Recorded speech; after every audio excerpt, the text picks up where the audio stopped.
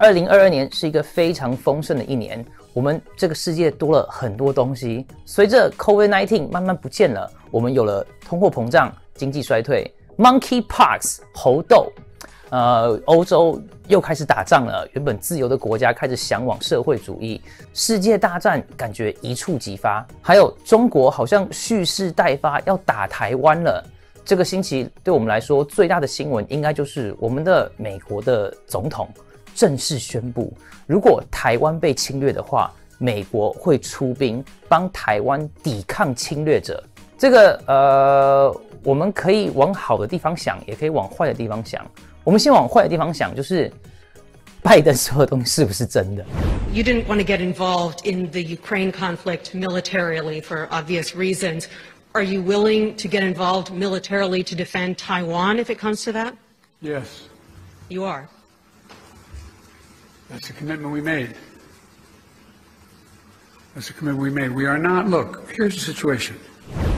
是的，他说，呃，美国承诺会用军事的力量保护台湾。事实上，就是美国对于台湾的承诺一直以来都是美方会提供武器。如果中国侵略台湾的话，台湾可以有自己足够的军事力量来保护自己。那如果以一个战略的角度来看的话，让中国共产党认为说美国会动用美军来保护台湾，并不是一件坏事，因为跟乌克兰比起来，台湾的战略地理位置还有工业能力的技术是比乌克兰高出不知道几百倍的重要。乌克兰就是一些什么麦子啊之类的东西，台湾对于全世界的半导体晶片的供应是非常非常重要的。也就是说，如果说中国拿下台湾的话，中国可以控制不只是美国，甚至全世界的高科技产品，各行各业都会受到影响，甚至会影响到美军，因为美军的科技，什么战斧飞弹啊、无人机啊，里面的晶片很多也都是台湾做的。所以，中共如果拿下台湾的话，中共就可以对澳洲、日本、韩国造成威胁。简单的说，就是美国会被慢慢的强迫退出亚洲太平洋的地区。那事实就是，如果中共现在就要打台湾的话，台湾的确可以造成中国的军队有大量的损失，但是共军会赢。中共在各方面的军事力量都比台湾多，非常非常的多。中共可以死。五万人、七万人、十万人，但是他们如果不顾一切的话，还是可以拿下台湾。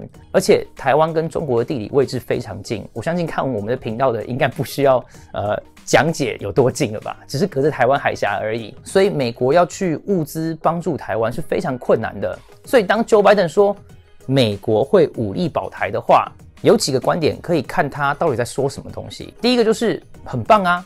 我们吓吓中共，你别乱来哦！如果你在这边打起来的话，我们会在那个地方，我们的军队、我们的武器准备好跟你拼。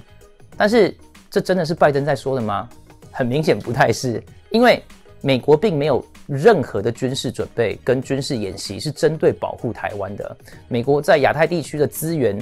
无法跟中共对抗，后勤跟补给线在那个地方也很缺乏。简单说，就是美国并没有能力帮助台湾打仗，也没有办法保证可以在当地打赢中国大陆。虽然数字看起来很漂亮，特别是海军的数字好像很大、很漂亮、很先进，但是其实非常的分散。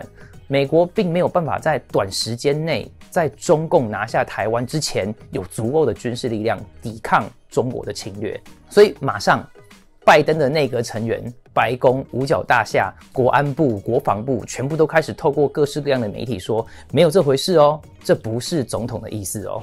You mentioned, Kate, several administration officials were apparently caught off guard by the president's comments. Uh, and it's also important to note, though, this is not the first time. Twice before, President Biden has suggested that the U.S. would intervene militarily. And again, we've gotten those same statements from those instances as well, where administration officials trying to insist that the U.S.'s policy hasn't changed. It was a bold statement from the president, and it was almost immediately walked back by the White House while he continues his trip in Asia. The president saying that he would use the U.S. military to defend Taiwan if China were to invade. But that's not the stated and long-standing U.S. policy of strategic ambiguity necessarily. CNN has learned that President Biden's comments caught some of his top aides off guard. This is drawing a sharp response already from China.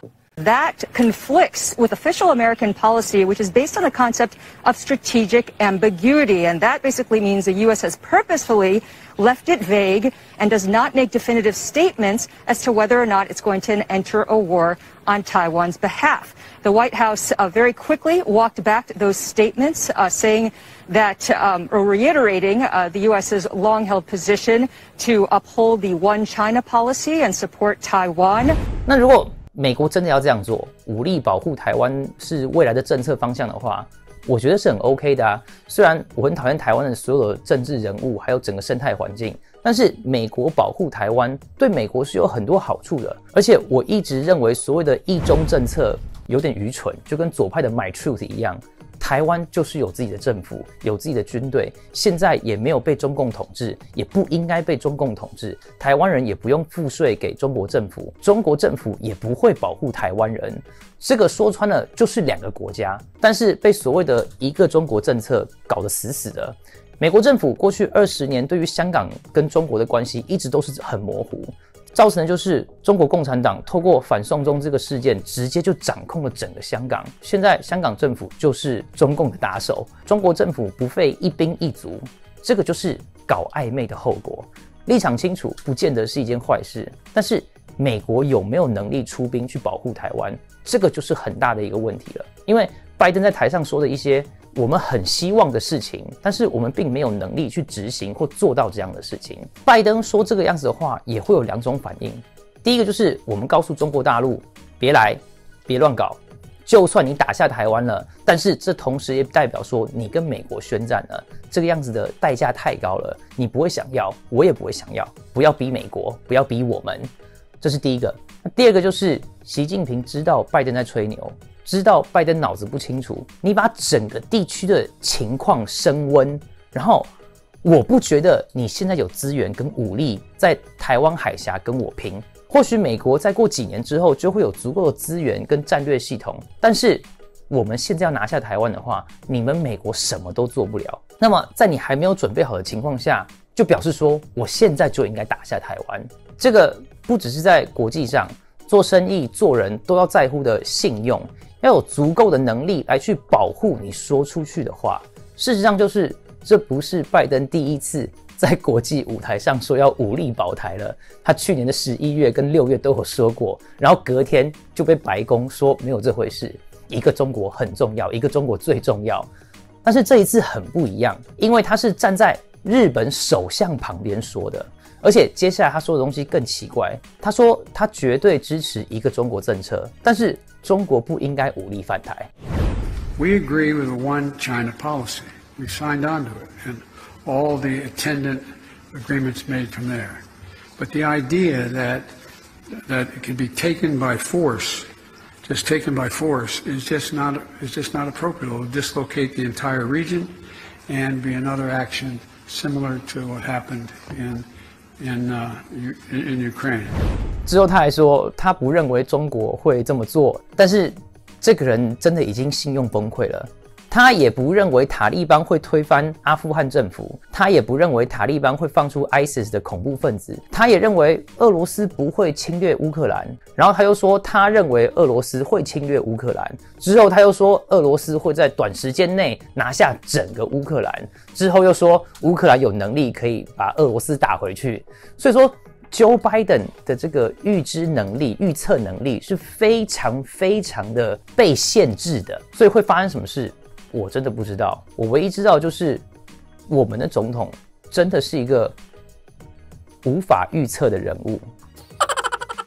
南加儿童合唱团现在开始报名啦！南加儿童合唱团成立于一九九八年，曾到纽约、波士顿。华盛顿特区、夏威夷等多处演出，并参与国内外各大音乐节，荣获各大奖项，均取得优异成绩。从即刻起接受报名，课程均由专业指挥教师指导。每个星期六下午有分四到八岁、九到十二岁以及十三至十八岁不同年龄段的课程培训。欢迎打电话六二六七七九六七六七报名咨询，或是登录网站填写资料报报名。记住，在报名的时候，请告诉他们你是看到 AI News 来报名的，会有一部分款项特别赞助到我们的施工哦。